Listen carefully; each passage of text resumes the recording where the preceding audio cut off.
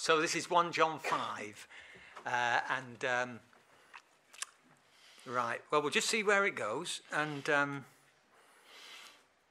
it, it's, it's going to be kind of a summary. I'm going to be dotting around all of 1 John.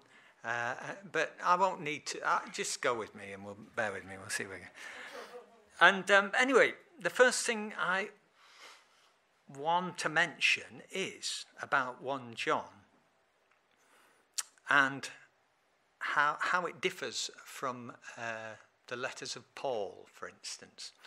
Now, the New Testament letters are predominantly Paul's letters. I say predominantly Paul's letters. There's, uh, I've worked out 12 out of 22 of the letters, but a lot of the letters are very small.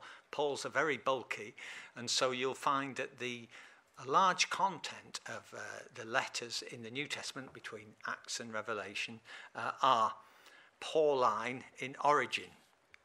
Our Methodist Church is a Protestant church, and it's um, rooted, if you go far back enough, in what's called the Reformation, where uh, a man by the name of Luther or people of his ilk um, uh, remonstrated against the payments that were demanded by the church at the time and said, look, God must be, uh, God's love is free, you shouldn't have to pay for it. Uh, and, uh, and there was corruption all around. And uh, Luther rediscovered basically and reinstituted how important Paul's doctrines were and his message of grace uh, as the foundation of our uh, position in God and our, and our eternal status.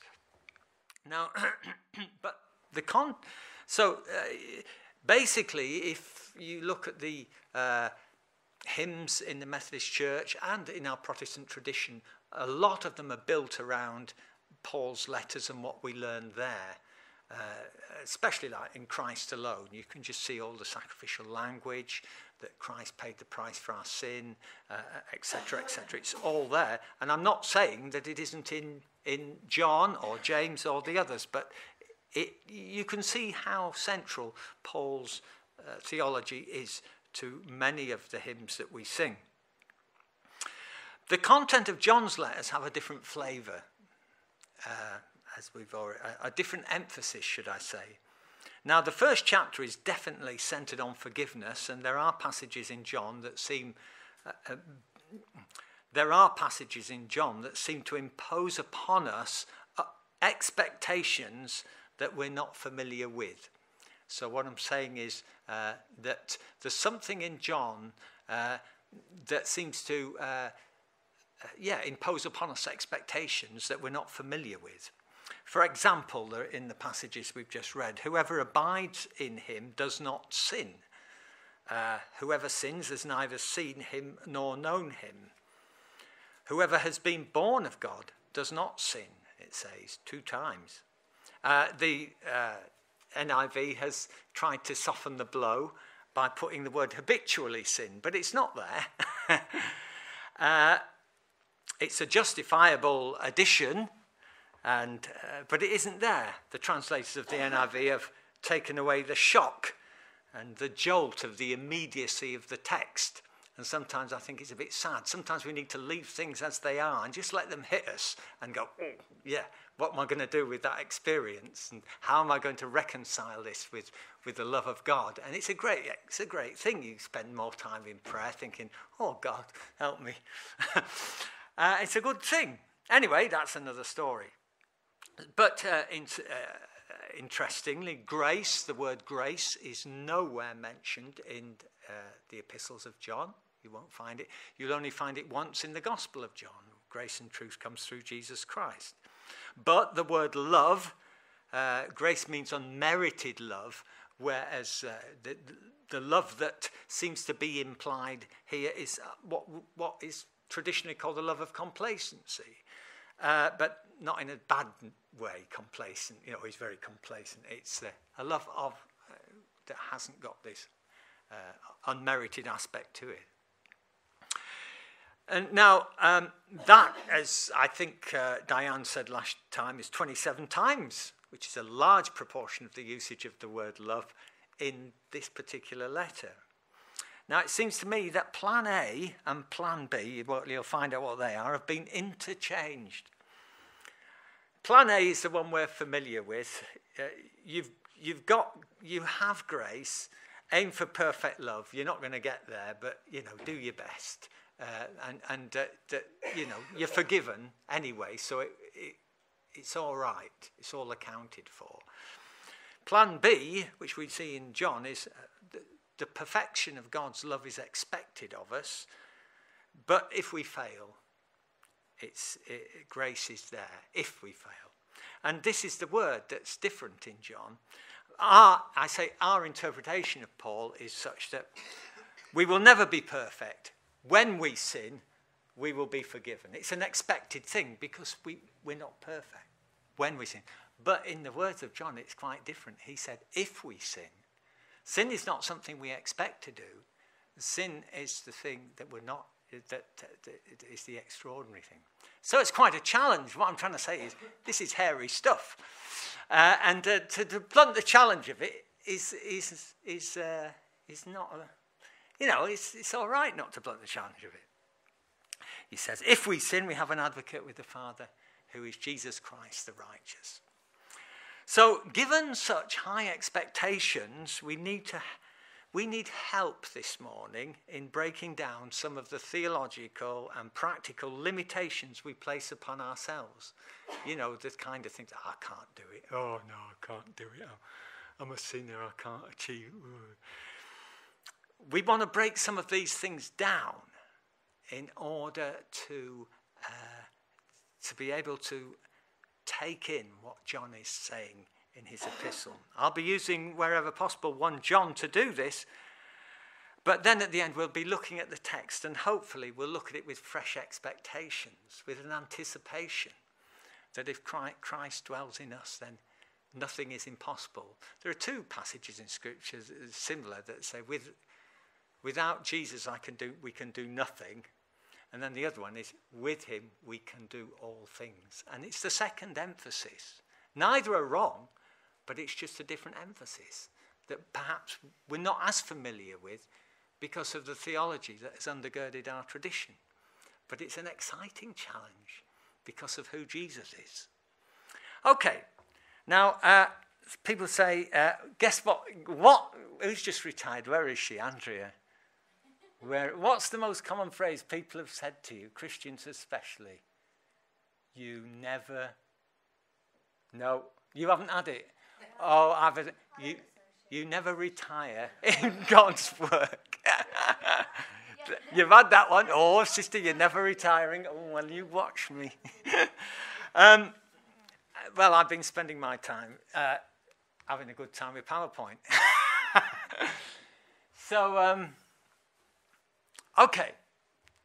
And we are thinking about this business of how we relate our working for God with God.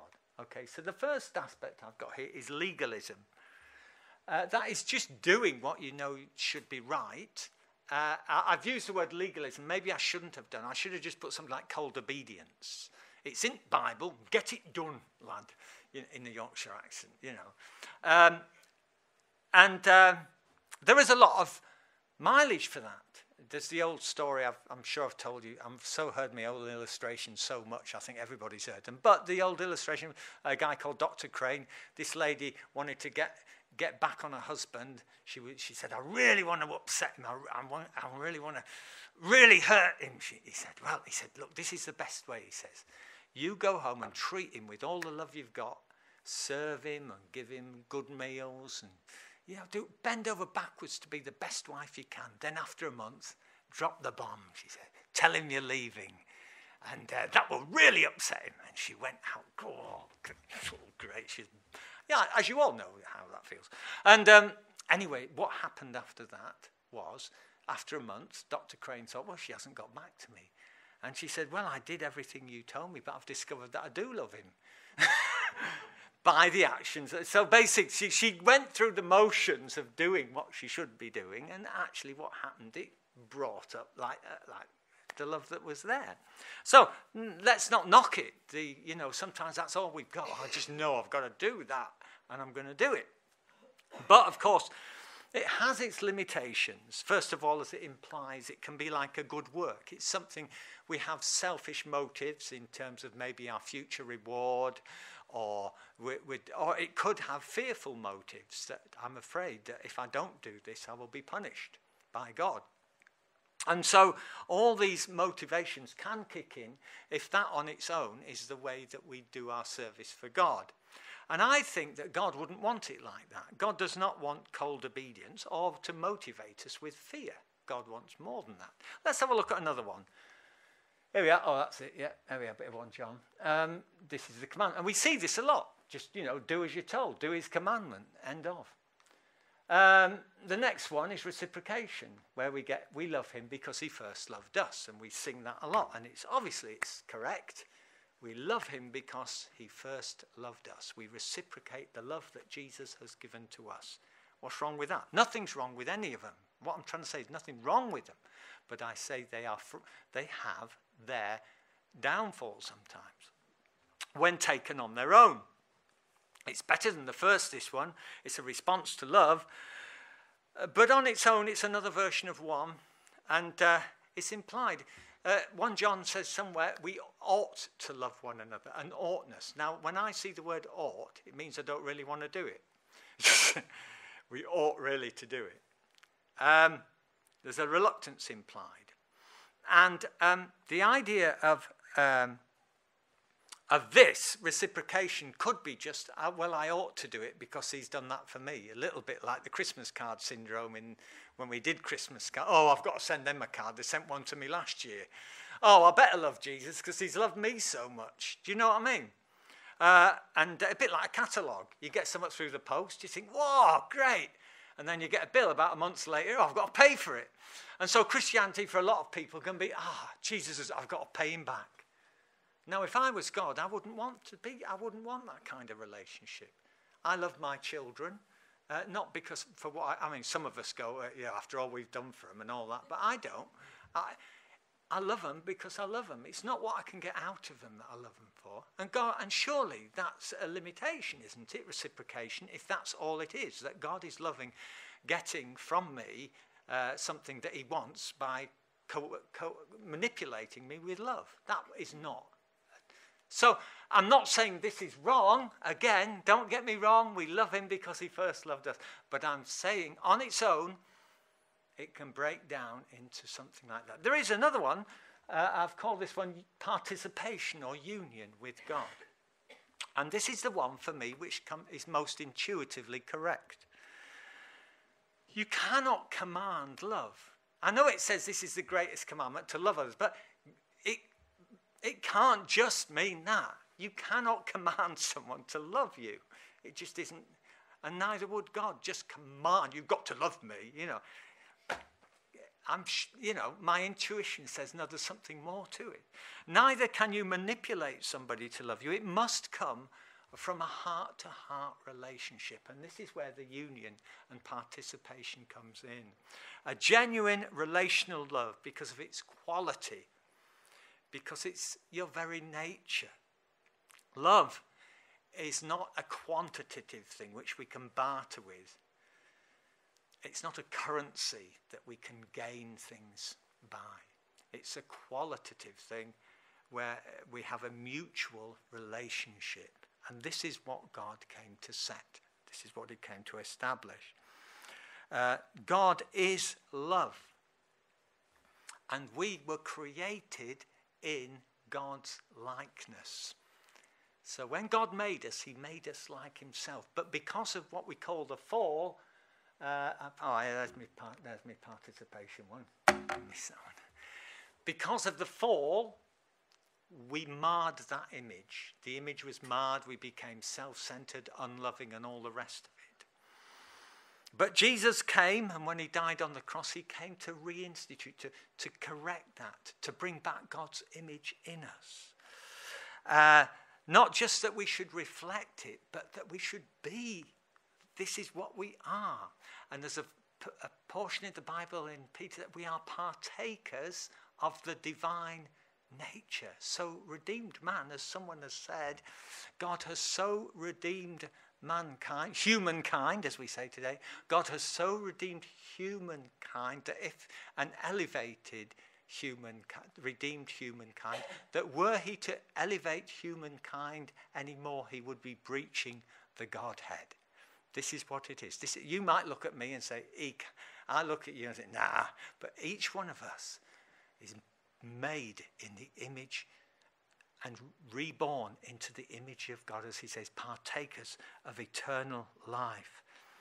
And as much as it can be said that God is love, if we want our essential identity, if we're made in God's image, we are love.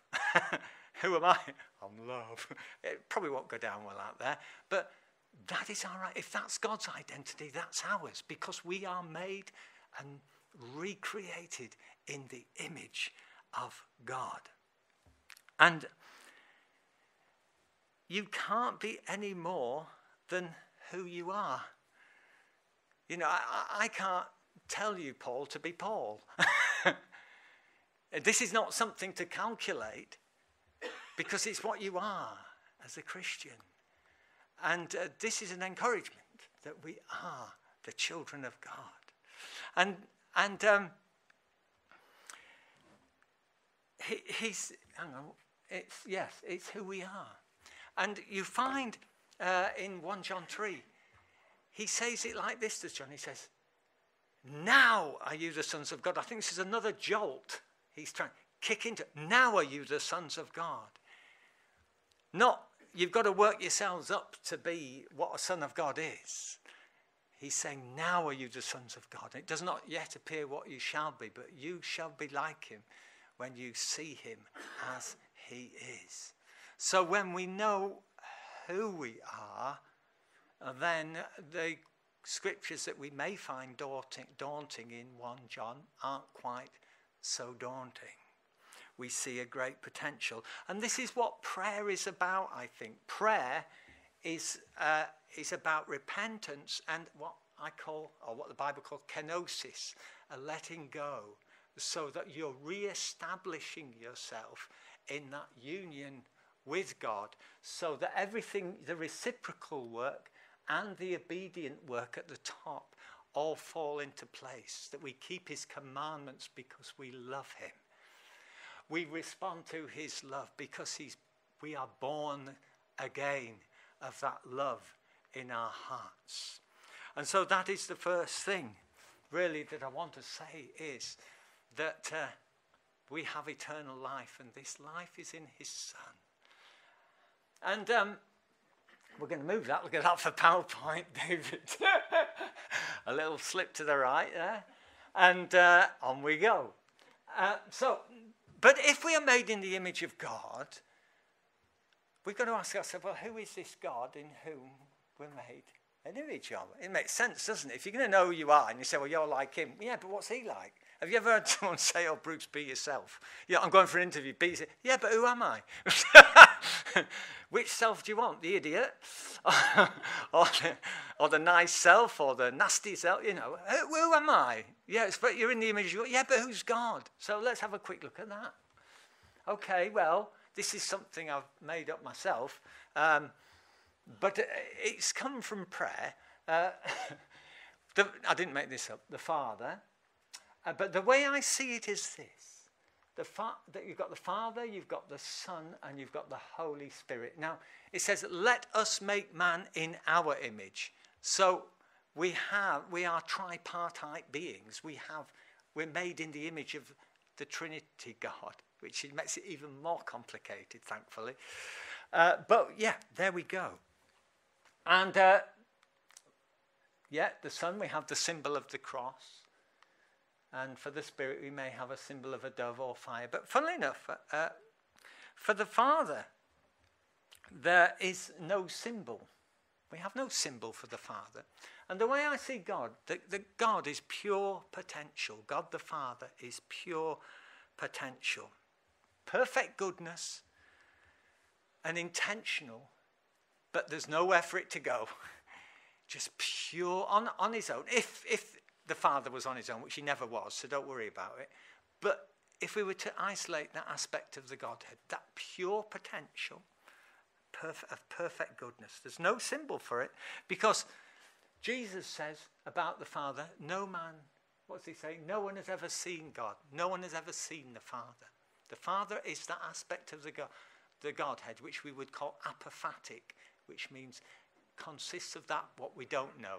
So if you say, what do you think God's like, Laura? I think he's, yeah, well, your concept of greatness is so limited because, well, he's not great. No, he's, yeah, that's wrong as well. So basically, God is bigger than our concepts. And so we, we call this the apophatic.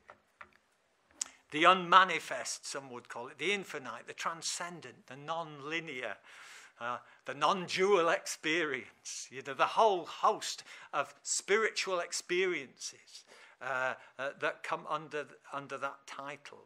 Um, and it fits with, um, yeah, the, the formlessness of creation. It says uh, the, uh, the word is tohu wa bohu. It sounds like a vegetarian meal, but it means formless and void.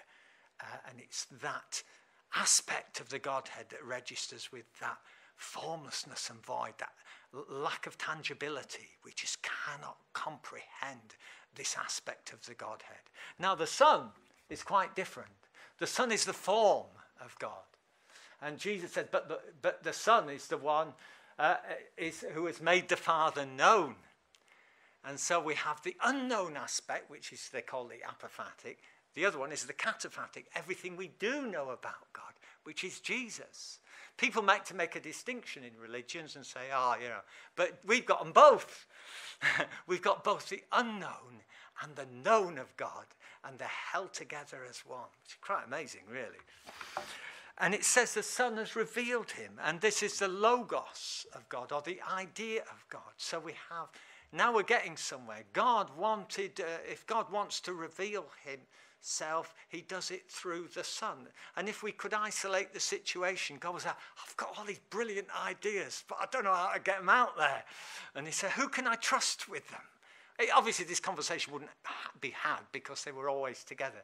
But the Son is the one who's been entrusted with the uh, revelation that's in the heart of the Father, that's unknown until the Son brings form and shape to it. And then we see the Spirit who is the one who brings actualization. You will receive the Spirit power, and it's the Spirit that brings it into reality, the executor of the Godhead.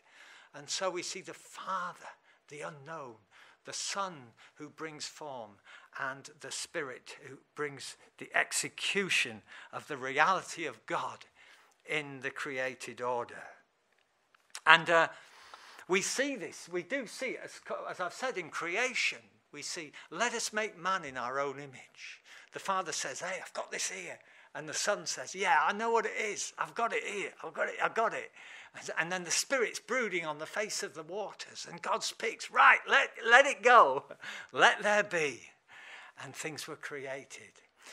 You see it in, uh, in redemption, in God's love. You see God's loving heart. But how is it going to be uh, shared? How's it going to be declared? And Jesus comes into the earth, the Word made flesh. And so, so that love which God has for his fallen people has now got form. And on the cross, you see it as Jesus died, and then on the day of Pentecost, it is confirmed the reality of it. So today we celebrate the reality of that presence. Uh, and then I'm sorry if I get excited, by the way. I feel like that lady on Gardener's World. oh, the, oh, the tulips are so beautiful.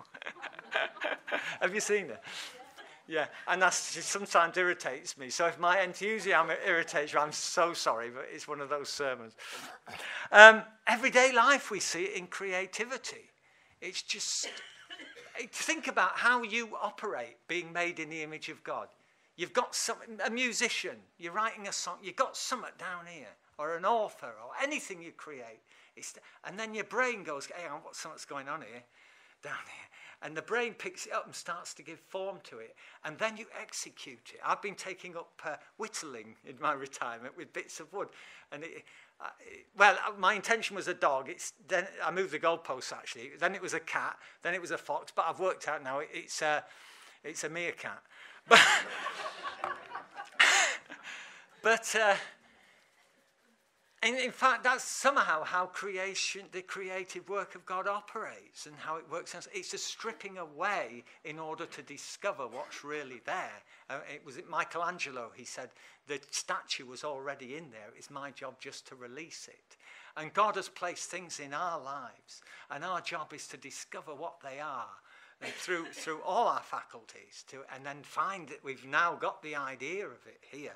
Now, how is it going to be implemented? And God's in all that. And that's what it is to be made and redeemed and in the image of God. Uh, and so uh, when we take the two together, it's a great thing.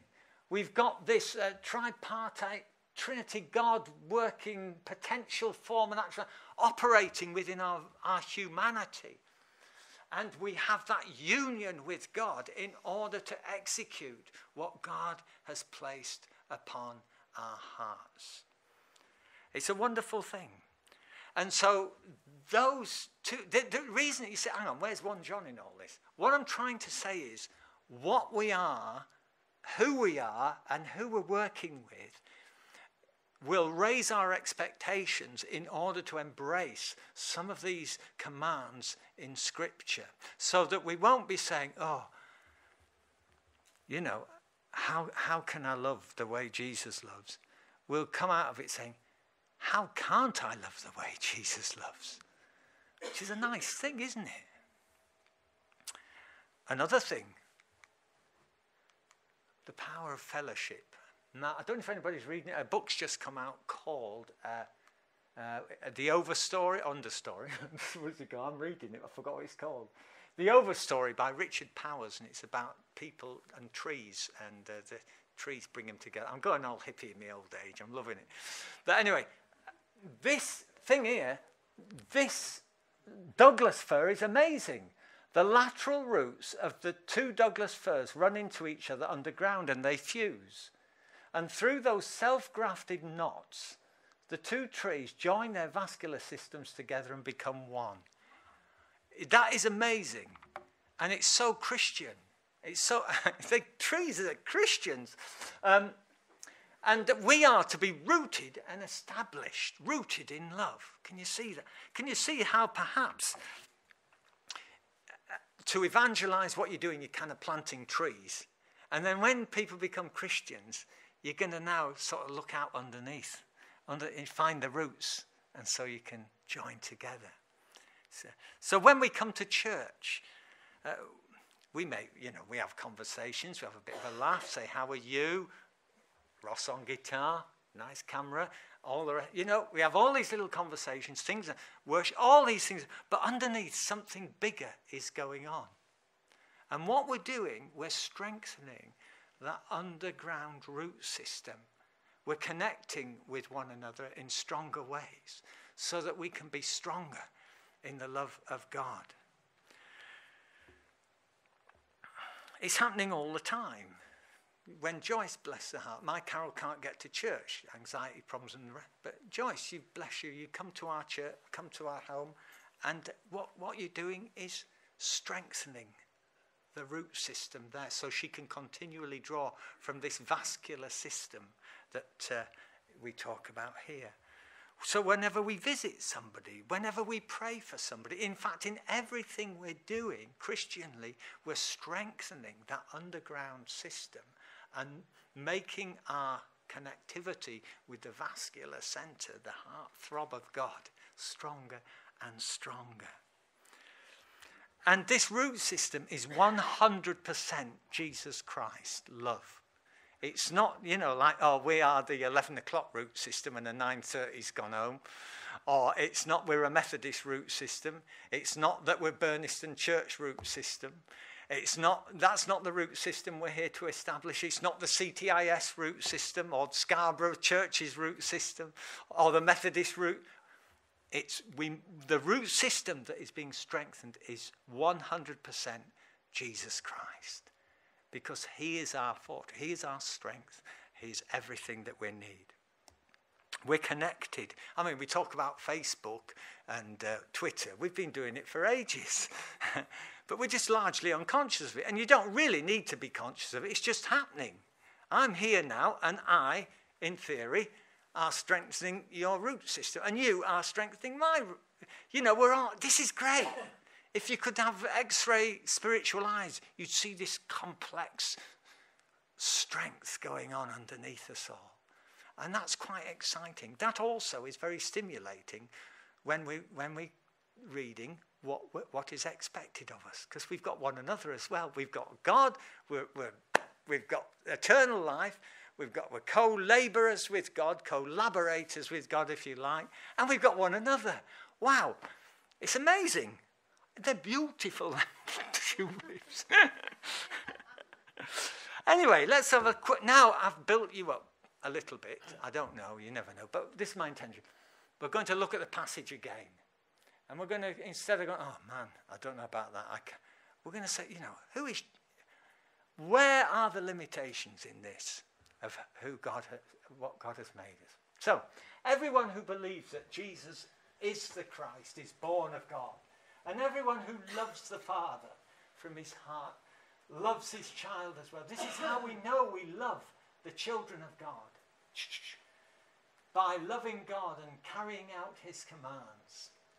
You see, those three things come into line, don't they? We carry out his commands because of the love we have. For every one of God, born of God, overcomes the world. This is the victory that has overcome the world, even our faith. Who is it that overcomes the world? Only the one who believes that Jesus is the Son of God. This is the one who came by water and blood, Jesus Christ. I'm probably referring to the uh, baptism and the death of Jesus. He did not come by water only, but by water and blood. And it is the Spirit who testifies, because the Spirit is truth. For there are three that testify the Spirit, the water, and the blood. And the three are in agreement. Don't ask me what that means could be referring to the Trinity, but actually that was only uh, that was only introduced to the scriptures after the 14th century. That's one little passage out of the rest of the New Testament that, that possibly shouldn't be there, but it's doing no harm. um, that one. Uh, if you look it up, you'll find that uh, you'll find at the bottom of your Bible this was introduced in the 14th century. Anyway, we accept human testimony, but God's testimony in our hearts is greater because it's the testimony of God, which is given about his Son. Whoever believes in the Son of God accepts this testimony. And whoever does not believe God has made him out to be a liar because they've not believed in the testimony God has given about his Son. And this is the testimony God has given to us eternal life, and this life is in his Son. Whoever has the Son has life. Whoever does not have the Son of God does not have life. Now I write these things to you who believe in the name of the Son of God, that you may know that you have eternal life. Know that you have eternal life. This is the confidence we have it in approaching God, that if we ask anything according to his will, he hears us. And we know that he hears us. Whatever we ask, we know that we have what we asked of him. Prayer what confidence we should have really in prayer. And I, I'm not a great prayer. I, I don't know how. And I think we're all the same. we're well out of our depths. But Carol and I say a little prayer together at night, and if there's needs that have come over, over the day, we bring them to God. And uh, I, can, I can say that there are three people I know who've had cancer and who have been um, not but through the doctors, but have got better. And I, I, I just can't help attributing it just to the simple, oh, I'm just saying this, Lord, I'm just praying it, just faithfully. Uh, so, you know, that's an encouragement for me. Um, there are other prayers that I'm still waiting on. But the thing is, in prayer, we're open uh, to the possibility of the impossible when, when our hearts are filled with God. We don't, we, we break, all these limitations go by and we hold ourselves up before the possibility of what God can do. And the little thoughts come across, well, not that, not that, hang on. I'm not going to rationalize this at all. I'm in the presence of one who is beyond my rational understanding. This is a bit of a ap- apophatic exercise, this. I'm putting it all to one side and embracing the possibility that my little prayers are going to be answered in some way that I would never have begun to rationalize. Anyway, then we get to a bit of a difficult bit, which I've no idea what it means, uh, and neither has anybody else if you do a research on it. It just says, if a brother or sister sin does not lead to death, you should pray, God will give them life. I refer to those whose sin does not lead to death. There is a sin that leads to death, and I'm not saying that you should pray about that. I'm sure one or two of you have got an answer to that, but seriously, they, they're, they're so vague and varied. Um, but the thing is, they, they're there to sort of, oh, what? And then you fall back into, oh, you've got an answer. What? Am I in the wrong place? That's it. YouTube are going to miss out now, aren't they? Um, all wrongdoing is sin, and there is a sin that does not leave us. We know that anyone born of God does not continue to sin. There, yeah, continue to sin. Actually, d- does not sin. One who has been born of God keeps them.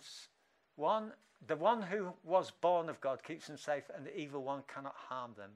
We know that we are the children of God. We know, and the whole world is under the control of the evil one.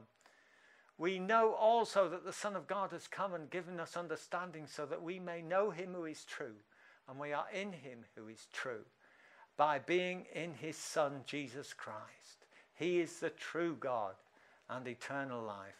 Dear children, keep yourselves from idols. I think he'd given up then. I think he was going to start something else and he thought, I'll give it a rest. Uh, so, that's just another thought. It's not contradictory at all uh, to other approaches. But sometimes it's good, instead of mourning what you haven't got, is to celebrate what you really do have and taking it on board in your life and getting on with it. Um, it's a pastoral epistle. Uh, it's almost could be seen as defensive and protectionist. It'll keep us from the world, you know, oh, we're safe, we're all right. The world is kind of alien. Uh, but we have to read it in the context of the whole of Scripture. Jesus said that God so loved the world that he gave his Son. Uh, we're in the world, but not of it. And when I was a hippie, I was of the world, but not in it. and um, but the love to which we're called uh, is a boundless love. It doesn't know any boundaries, and there is a form of love which you could actually sociologically calculate how it develops in societies that people in order to keep the society going develop this kind of respect for elders and uh, don't steal, don't do that. And I guess there must be some atheistic kind of sociologists who said, look, morals can develop. Yeah, they develop within a closed system. But anybody that steps out of that closed system suddenly can become alienated. And it often happens in religions, happens in denominations, happens in lots of things. They're no longer part of us. Uh, someone has argued that ha- even countries, this is why we have wars, you know, they're not part of us. And uh, even some countries that have policies that seem to, you know, ha- to be respectful of other cultures. You know, when the rubber meets the road, it, it's lacking. And I, I, it's a closed system of a limited love. But the love of God has no boundaries. In fact, it says in scripture, we love because God so loved us. In the Bible, they've put it, we love him because he so loved us. But actually, that him is not there. It's we love. We just love. There's no compromise. There are no, there's nothing before us that we can say, oh, we now have to put this boundary up against. Uh, against. Oh, I'm not talking in big social ways how to come with the NHS and all the rest of it, but I'm talking about our individual personal relationships. There are no limits uh, to the love which God has placed in our hearts. It's an open system rather than a closed system. Finally, somebody once said, I was in the dentist's waiting room, I heard him uh, on the radio, they said this the church is the only institution that works primarily for the benefit of non members. Most institutions exist for their own benefit, but the church exists for the benefit of those that don't belong to it, which is quite interesting, isn't it? it? Gives you that kind of reaching out idea. The final thing is, I just want to say that perhaps in your own experience, you say, yeah, I've, my Christian experience um, is, I know about, you know, trying to do my best to be a good Christian, and I really do try hard to get it right. You may be somebody that says, yes, I understand, and I, I am really trying to serve Jesus. But actually, this middle bit in your own life is, is missing. You feel two things. You feel that you don't know the the presence of Jesus Christ in your life. You know all the trappings and the trimmings of Christian behavior, and you're doing a fantastic job, and I, I salute you for it. But you really want to seal the deal and say, I want to know Jesus Christ in the center of my life, in my heart. Don't go away without talking. Don't be ashamed of it. It's nothing to be ashamed about. And it might be something you feel weak about at this particular time. It's something that we can pray with you for. The other thing is, you come to church, but somehow you don't feel you belong. Intuitively, you know somehow you're not part of the root system. Uh, it's something you intuit, or if you're not sure about. Again, this is why we're here to strengthen that connection and to build your aspect of that root system so that you can be rooted and grounded in love. And uh, so, those two things really I finish with. Just you know, please, if there's any questions, if there's anything you want to pray about, that's, we have a prayer team and we're just so happy and delighted to try and help you. Amen.